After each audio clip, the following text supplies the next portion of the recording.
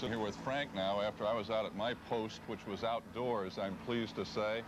Uh, you get to feel, did, could you feel that vibration, Frank, oh, yes, this time yes, in here? It just roared across the swamp and hit us uh, just like a, uh, you know, like, like something really uh, slapping you in the face. But it was a very welcome feeling, wasn't it?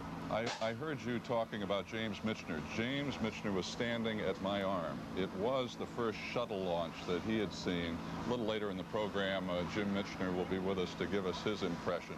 Also, I think, Frank, the impression that I interested me most was Gene Cernan. Last night we were out at the pad together and he looked me and said, I've got to fly that thing. He's serious. He's ready to go back. He might well be. Uh, anybody who has ever experienced that uh, magnificent uh, sensation, you know, of riding what is essentially uh, a bomb up into the skies and uh, knows what it's like, uh, surely must relive it many, many times. Cernan, of course, also is uh, one of those people who can look up at the moon and uh, experience a certain kind of feeling because he's one of the few human beings on Earth who's ever actually walked on it. Sure, all of the astronauts want to want to get back into it. Everybody that's uh, that's ever done it kind of regrets that uh, time has gone by. Well, as Gene said, the government, we spent so much of the people's money on his training. We ought to get our money's worth and put him back into it. that probably wouldn't set very well with the astronauts who are now in training and who have waited forever and ever, it would seem to some of them. That's one of the things that always impresses me about this program, David, the dedication and the commitment that these uh, men and now women must make. Uh, all of this training and the years of work and study, very, very hard work, uh, leading up to essentially one experience. But out of that experience, of course, uh, comes their own contribution to the continuation of the space program, and they all make contributions that are extremely valuable on later flights. In this mission, look at Lenoir and Allen, yes. who have been in the program since 1967, scientists, now also pilots. But they are looking forward to going into space. Gene Cernan, a little later, will tell us what that uh, is like that feeling of opening the hatch and going out into space wearing a suit, and that's the experience that Lenoir and Allen will have, uh, I guess, early Sunday morning. Yes, Five years ago, dropped him in an X-1 rocket plane from a B-29 bomber, and he pushed past the 660 uh, mile per hour sound barrier, and uh, they've been talking about it ever since. You are now uh, 60 years old, but you could, if you wanted to, fly that space shuttle, couldn't you? Yeah, I would imagine so. Would I'm, you like still, to? Oh, that, that's a heck of a question. You're darn right I would. So that would be the only way to fly in space, in my opinion. Yes, you haven't been able to say that about every aspect of the space program in the last 20 years.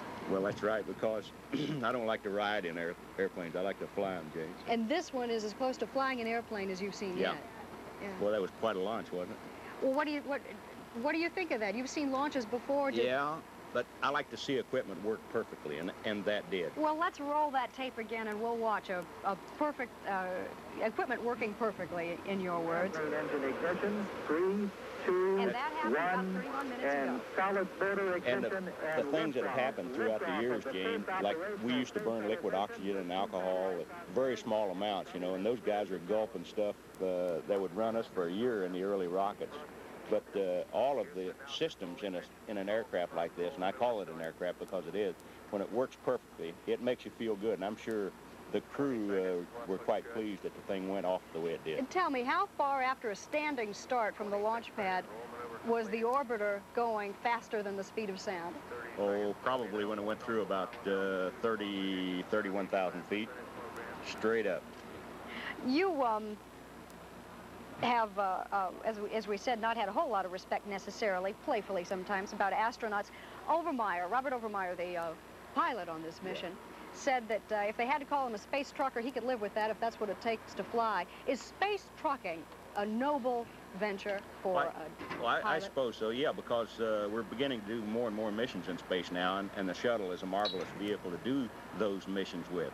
And, uh, and the shuttle itself, obviously, uh, which is not valued to, as a fighter or something like that. It's a workhorse.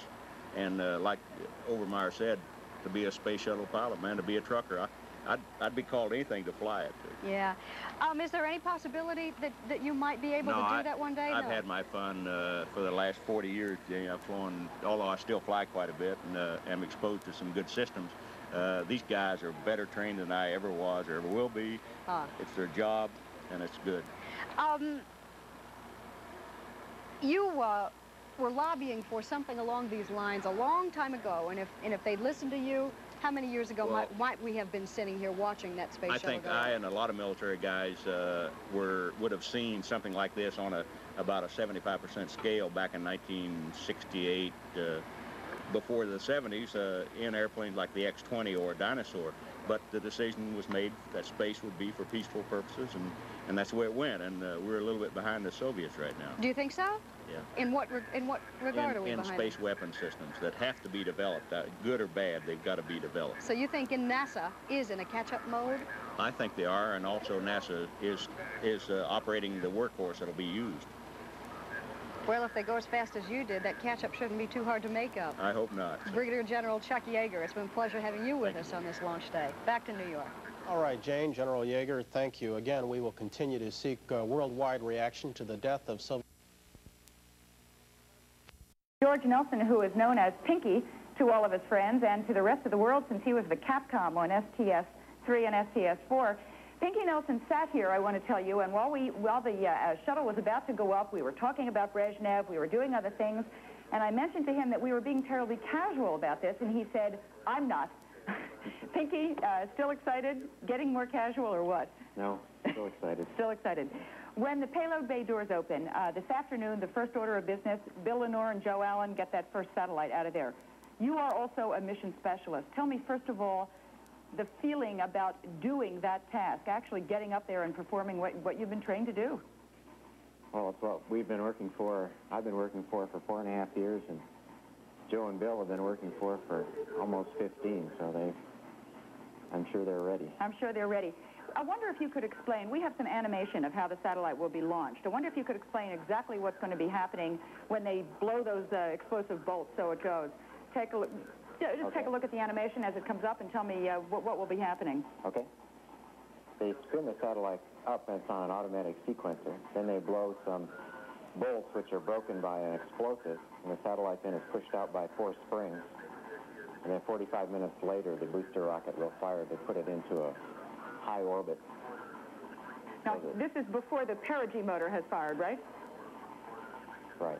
Okay. Well, that's the animation. Later this afternoon, we hope we will have some actual TV pictures of, of that satellite being deployed. Pinky Nelson, thanks. We'll be talking to you a little bit later on. Okay. I'm Lynn Sherr in Houston. Back to you, Charlie. Thank you, Lynn and Pinky.